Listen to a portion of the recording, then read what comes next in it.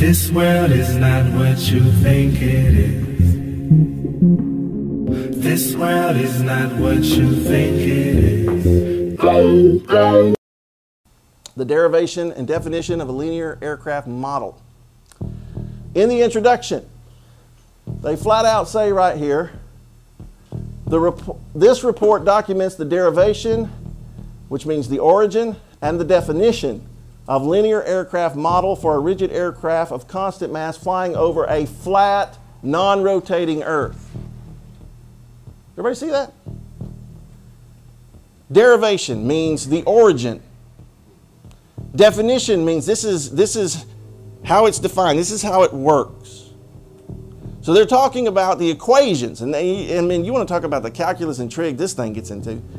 The equations are based on these airplanes flying over a non rotating flat Earth. Question Why would this be in any technical manual of anybody if it doesn't exist?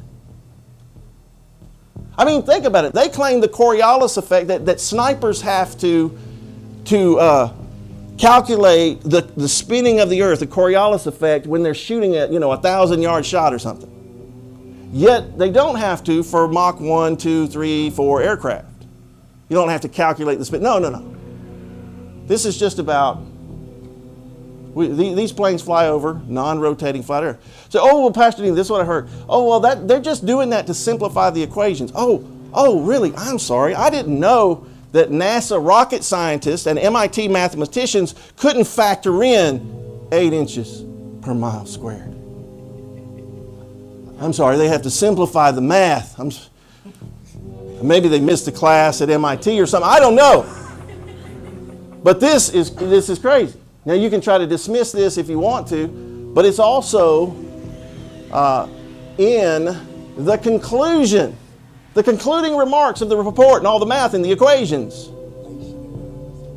Look at that. This report derives and defines a set linearized system matrices for rigid aircraft of constant mass flying in a stationary atmosphere over a flat, non rotating Earth. Let's keep going here. There's your definition of derivation obtaining or developing something from a source of origin. Why, why, why would you develop the equations for aircraft to fly over something that doesn't exist?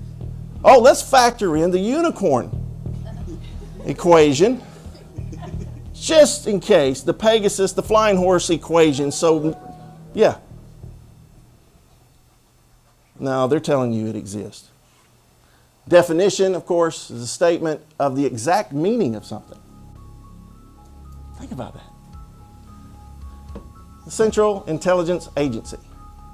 Declassified document that we stole from the Russians in, from 1948. What's that? Yes, you will. You, will you notice that. Sanitized, yes. Why would you sanitize scientific information about, look at this, this is what this one's about scientific Earth measurements. Why would you redact anything concerning the true scientific facts of the Earth? I wanted you to see that scientific measurements of the Earth, June 1948. It was originally in the Russian language. This is the translated thing. Date distributed, July 1949, number of pages 19. Just so you can see, here's getting into it here. Now, Notice it says the of the paper says outer gravitational field and shape of the physical surface of the Earth. Um, gives this guy's name, some Russian guy. Center Science Research Institute for Geodetics, Aerial Surveying and Cartography, Moscow. Everybody see that? All right. You can go through this entire document if you want to. I'm just pulling out something that I found very interesting in 1948 from Russian scientists that was classified. They stated here that where, where it is not determined, to determinable at all of the points of space without the knowledge of the shape of the earth, but since the shape of the earth is not known.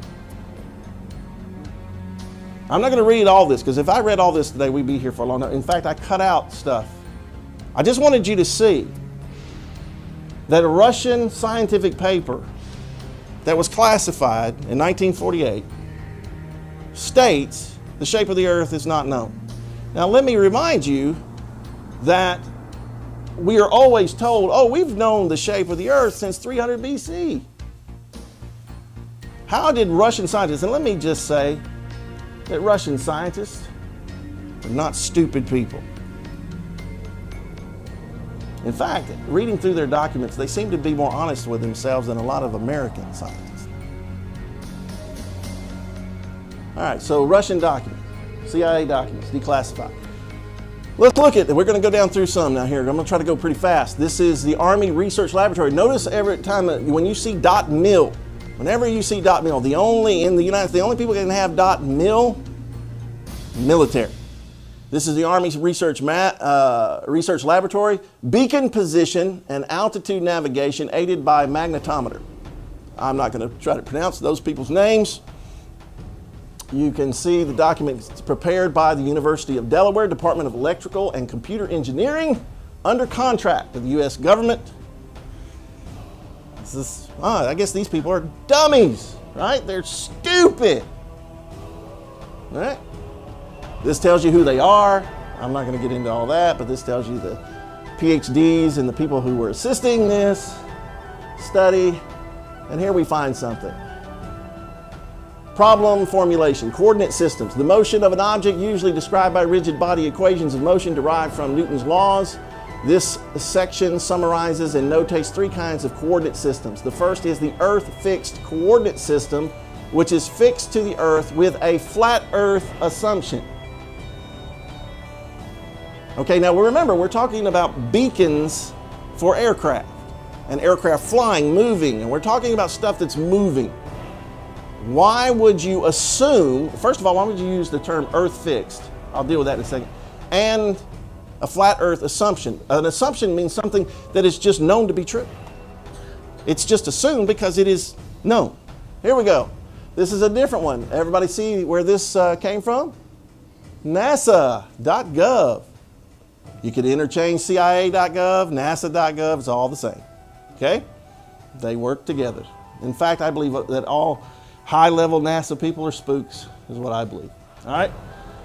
Um, here we have the singular arc time optimal climb trajectory of aircraft in a two dimensional wind field. Oh, Lord. These guys. right? NASA research, smart people, our rocket scientists. Everybody said, I'm not a rocket scientist. Well, these are. All right. So this document goes on to say, in our minimum time to climb problem, the aircraft is modeled as a point mass and the flight trajectory is strictly confined in a vertical plane on a non-rotating flat Earth. Do you see that? Does everybody see that? And then they've got this nice little equation here. Thus, the pertinent equations of motion for the problem are defined in its, uh, in its the state variable form as, and then they give you the math. Wait a minute, is this unicorn math? Is this Thor hammer math? Wait a minute, no, it's, it's flat, whoa, what, flat, non-rotating flat earth math. Oh, then it, oh, I'm sorry. Could we just substitute Pegasus, unicorns? No, exactly. Let's keep going. Here, let's back up a little time. Everybody see this? NASA technical memorandum. Where'd it come from? NASA.gov, right? Declassified.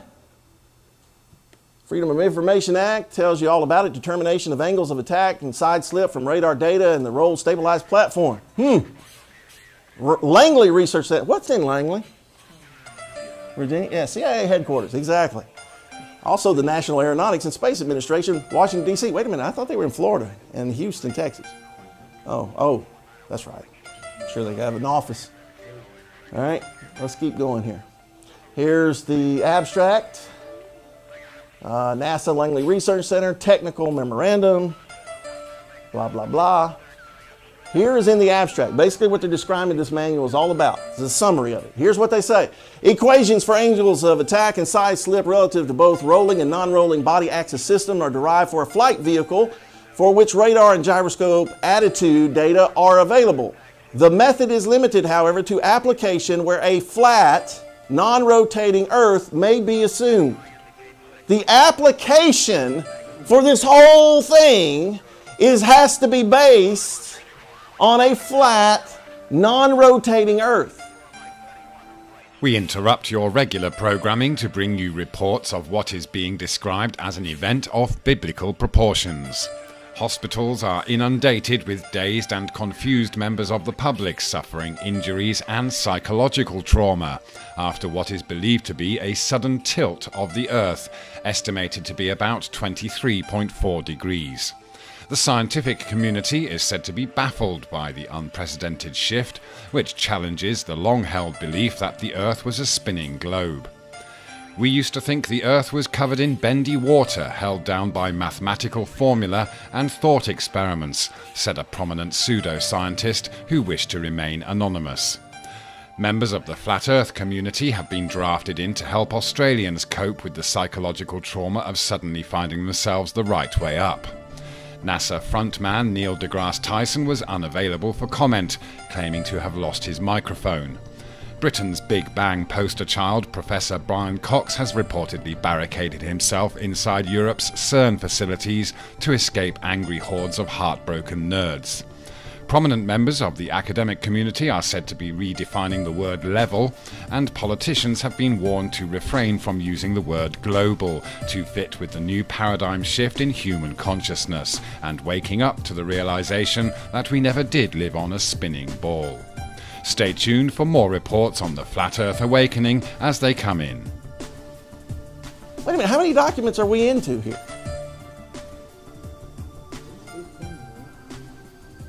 I'm going to read that again. Equations for angles, angles of attack, side slip relative to both rolling and non-rolling body axis system are derived for a flight vehicle. So we're talking about stuff that flies. And for which radar and gyroscope attitude data are available, the method is limited, however, to application where a flat, non-rotating Earth may be seen. To say that the method is limited to a flat, non-rotating Earth means it does not work for a spherical Earth. This is interesting because he talks about, it gives you this little frame reference. Look at north, south, east, west, right? And they're telling you that, uh, again, that represents the Earth, the Earth fixed axis system. Everybody see that, right? Right there. The radar provides range, azimuth, and uh, elevation data from uh, radar site to the vehicle throughout flight. So we're talking about stuff happening throughout flight, right? Uh, the data in conjunction with wind data can be easily converted to pitch, blah, blah, blah, flight path angles. It is assumed herein that the Earth is represented as a flat and non-rotating reference frame. Why, do I say Earth fixed? Isn't it supposed to be spinning, tilted, orbiting, flying through the universe? Yet the stars never change in the sky, right? The night sky. But yet we're spinning, flying, orbiting, millions of miles. Been doing it for thousands of years. Nothing in the night sky ever changes. They know. Come on, they know. It is assumed herein that the earth is represented as a flat, non rotating reference frame. Yet they're going to tell us snipers have to adjust for shooting a thousand yard shot that takes about two seconds, maybe less than that. But you don't have to calculate the Earth's spin for an aircraft, for a helicopter, a drone. The space shuttle, I'll show you that in a minute too.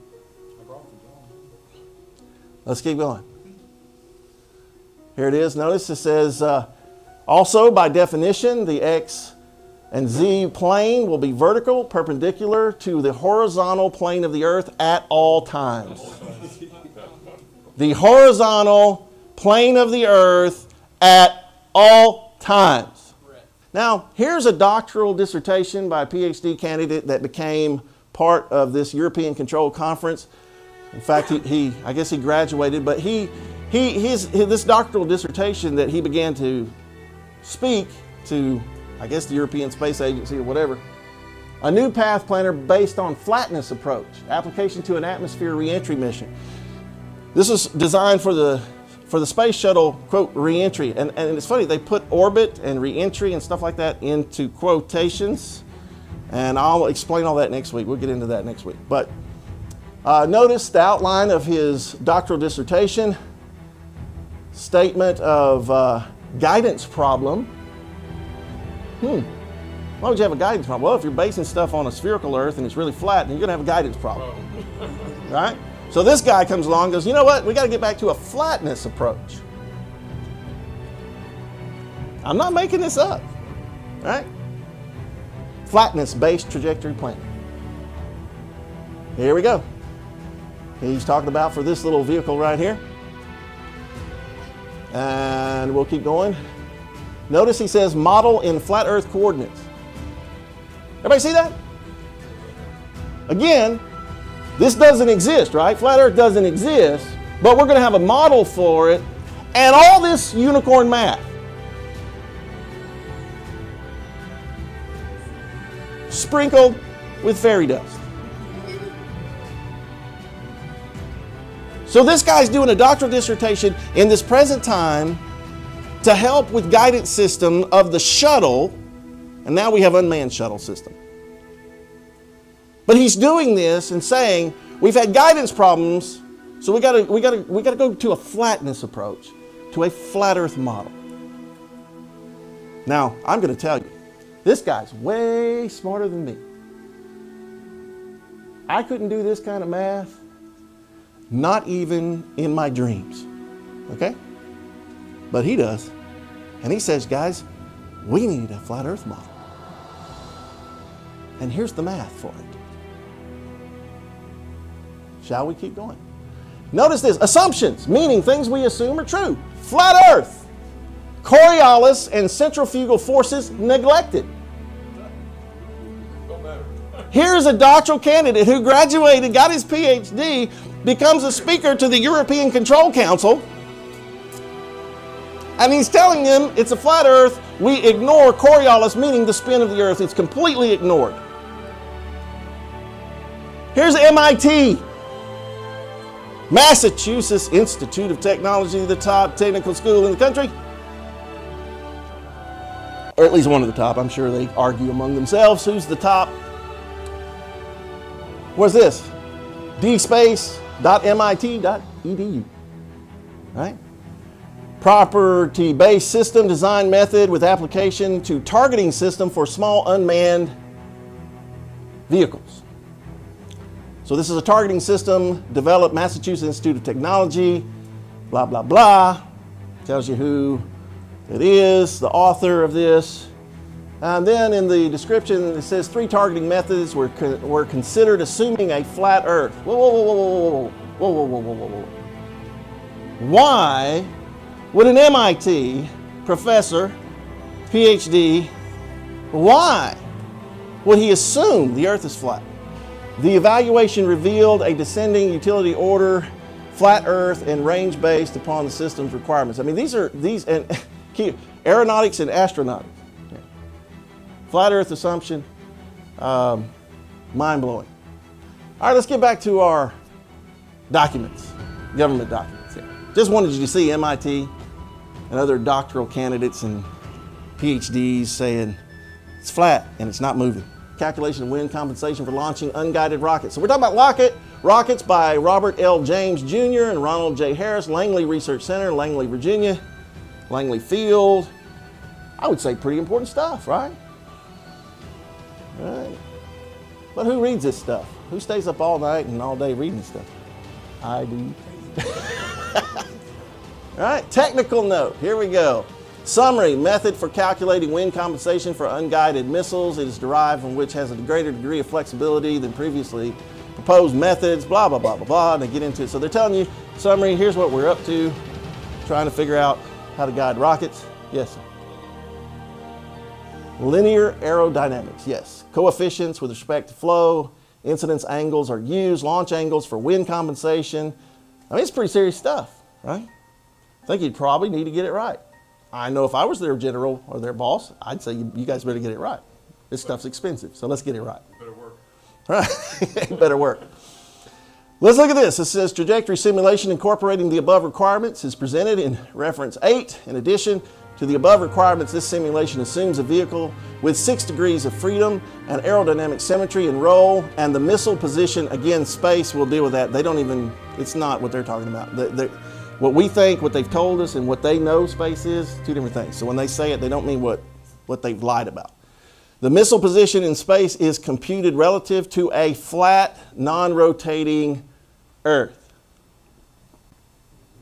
April 1961, NASA technical document for calculating unguided missiles, not anything we're sending into space. Just unguided missiles like the V 2 was an unguided missile. Let's keep going here. Here's another one. Okay, completely different document. Where did it come from? NASA.gov, right? Unpublished preliminary data, atmospheric oscillations, tells you the people. Georgia Tech project. Georgia Tech, here we go, right? My wife's brother is a professor at Georgia Tech. He would be losing his mind if he heard this, but his own university has been part of this. Under contract, Georgia Tech project contract, prepared National Aeronautics and Space Administration. So this was in conjunction with their engineers, Engineering Experiment Station, Georgia Institute of Technology, Atlanta, Georgia. Um, blah, blah, the requirements for additional copies. Um, talks about that, says the Department of Defense contractors must be established for DDC services or have their need to know certified by the cognizant military agency. So this was not to be passed around. This was need to know. All right? Georgia Tech project, just so you see it. Boom, boom, April 1965. Tells you the abstract, develop present theories of atmospheric oscillations, blah, blah, blah. I don't have to. All right. A model frequently used is that of, everybody say it, flat and rotating Earth. The most uh, one can profitably simplify the problem is to consider the isothermal atmosphere, plane level surfaces, and a non rotating Earth. NASA.gov. Now, this is general equations of motion for a damaged asymmetric aircraft. So, what they're trying to do is fix equations if a, if a plane loses part of its wing or tail fin or whatever, how to compensate and all that stuff, right? So, so that's what this is about. And the technical manual gives you this stuff. The introduction here's the introduction, right? Um, just so you know, it says in order to analyze the dynamics of damaged aircraft, the dynamic equations of motion must properly reflect the underlying physics. Now, I, I want to say that. I want everybody to pay close attention. They're telling you right here in the introduction of this, and they're showing you a damaged aircraft. They're saying in order to analyze the dynamics of damaged aircraft and dynamic equations of motion must properly reflect the underlying physics. It must, what we're going to do here must reflect the true physics. Physics. People say, you don't understand physics. Okay, well, these people do. All right? Who are we talking about here? The American Institute of Aeronautics and astronautics. And here's what they say rigid body equations of motion, reference to an arbitrary fixed point on the body. There are several approaches that can be used to develop the general equations of motion. The one selected here starts with Newton's laws applied to the collection of particles defining the rigid body. Any number of dynamics or physics books can serve as references. So they're saying the physics books can serve as references. I said, in this paper, the rigid body equations of motion over a flat non rotating Earth are developed. Why? Why? So you're telling me that the physics of a non rotating flat Earth are the proper physics in a NASA document. Here we go. You can tell when they're older documents. Ref, uh, atmospheric refraction errors for optical instrumentation. fun reading, folks. I'm telling you, fun reading. Um, there you have it. Tells you technical memorandum, blah, blah, blah. Same thing, preliminary report. October, what do we got? See, we're, going, we're backing up, 1953. Um, White Sands Proving Ground, La, La Cruces, New Mexico. Where is, where's Area 51? It's in New Mexico, I know, but I don't know. So, anyway, here we go. Look at this here. Just, just wanted you to see the signatures, real signatures, Dr. Fred Hansen, Dr. J.W. Molnar, or whatever, uh, James C. McNatt, Lieutenant Colonel, United States Air Force, Thomas W. Morgan, Major, United States Air Force, Systems and Engineering Branch, uh, Flight Determination Laboratory, White Sands Proving Ground. All here, right? Doctor so and so, Doctor so and so, General so and so. Guess they're stupid. This one, this document was not to be seen. This document contains information affecting the national defense of the United States within the meaning of the espionage laws, Title 18 USC, Sections 793 and 794. It is transmit, uh, its transmission or the revelation of its contents in any manner to an unauthorized person is prohibited by law. So this was classified in the 1950s. It's talking about basic equations for atmospheric refraction and all this stuff. It says here, now I want to point this out. Present equations hold for any altitude. Everybody see that? I don't have time to read all of it. Present equations hold for any altitude. All right, let's see what they're talking about. Table of contents, introduction, validity of flat earth assumption for atmospheric calculations. Validity you know what validity means? Something that is a solid fact. Let me, let me, let me back up. Remember, present equations hold for any altitude. So some of this, this, this study of, of basic atmospheric equations, this is for any altitude. And this is the introduction. This, this is the table of context Introduction, the validity of flat earth assumption for atmospheric calculations. If it wasn't flat, if the earth was not flat, why would you start off a classified, under threat of law in the Espionage Act, why would you classify that?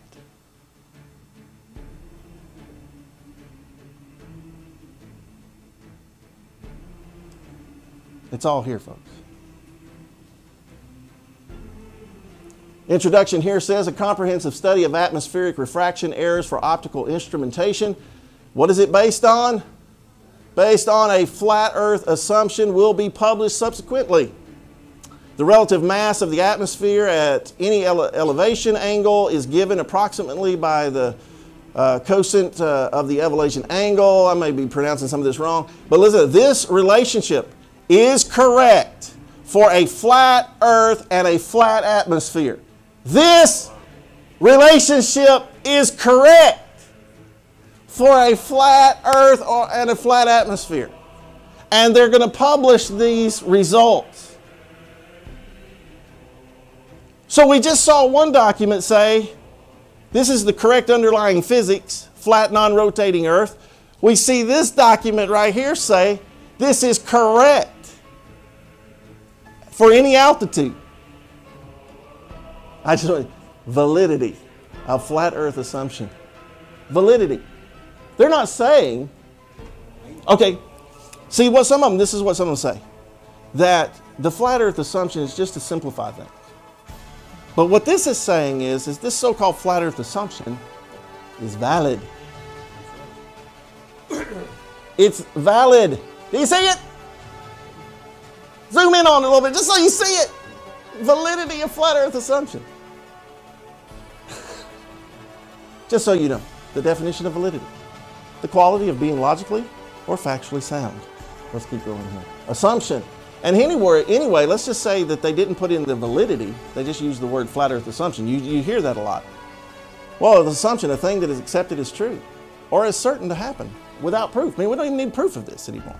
This is the what is assumed to be true by the scientific community, by the governments of the world.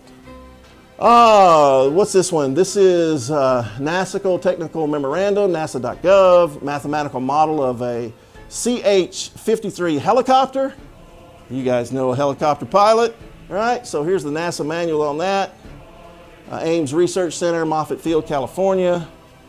Um, equations of motion. The helicopter equations of motion are given in body axes with respect to a flat, non-rotating Earth. Meaning the helicopter takes off, it doesn't have to worry about the Earth spinning below it. Uh, here's another one, vision-based mobile target geolocalization and target discrimination using Bayes detection theory. Oh, a mouthful, right? This is a more modern, I can't remember the year on this one, but anyway, you see this is the uh, Academy Center for the United States uh, Air Force, um, U.S. Air Force Academy, UA, UAS Research, and this is for um, targeting for unmanned vehicles, unmanned vehicle, aerial vehicles targeting manual. It says the objective of geolocalization problem is to estimate range to target which can be estimated using the flat earth model shown in figure 2 which would be this little thing right here.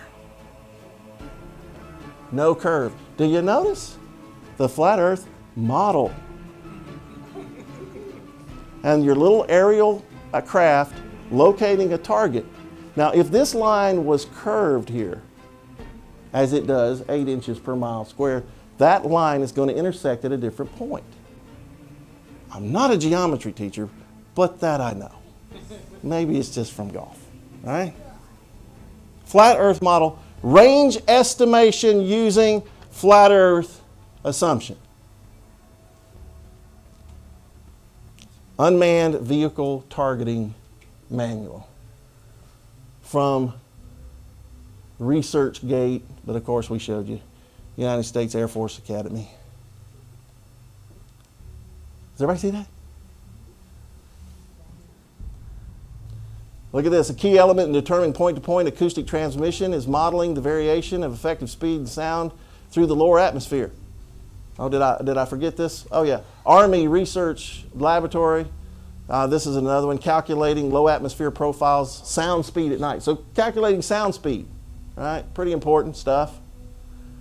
Uh, says to briefly examine short-range acoustic attenuation at night, we use low atmosphere profiles of wind speed, temperature, relative humidity shown before as input to a flat earth non-turbulent acoustic propagation model called the Windows version scanning fast field program. Propagation of electromagnetic fields over flat earth. Army manual, February 2001. You can say, oh, Pastor D, the 1950s stuff and the 1960s stuff, oh, they just didn't know. They've learned stuff since. Right? Nope.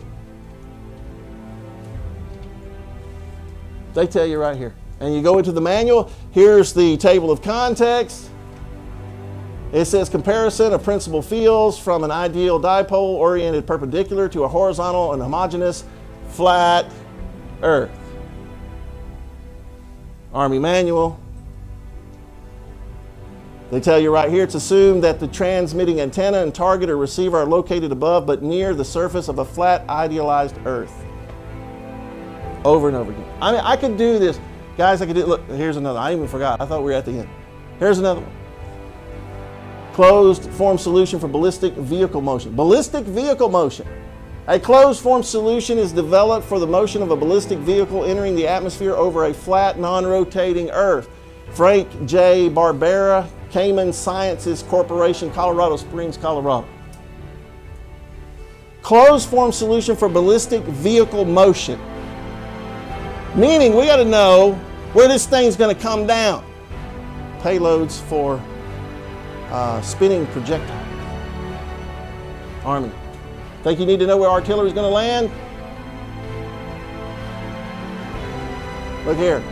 Projectile flight dynamics. A 6 DOF rigid projectile model is employed to predict the dynamics of a projectile in flight. The assumption of these equations assume a flat earth. These equations. A whole bunch of math we're going to do. BG Karpov experimental observations of dy- dynamic behavior of liquid filled shells. U.S. Army Ballistics Research Laboratory, Aberdeen Proving Ground, Maryland, August 1961 is a reference to this.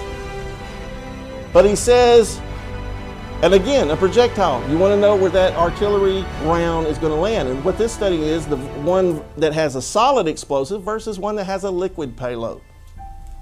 They're talking about chemical weapons or biological weapons. So they want to know, figure out the equations. So a 6 DOF rigid projectile model is employed to predict the dynamics of a projectile in flight. These equations assume a flat Earth. Again, why would you do unicorn math? Why would you do Thor hammer math if it don't exist?